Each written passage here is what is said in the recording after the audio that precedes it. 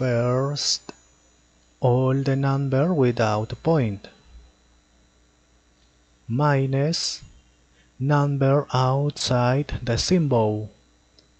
Here 0 point minus 0 uh, out, without point. Eliminate 0 after the point there are two number with a symbol therefore two nines. One two two number two nines. Subtract can be simplified because can be divided by the same number divided by 3 divided by 3 24 divided by 3 can be divided by 3 divided by 3 is 8 divided by 3 is 11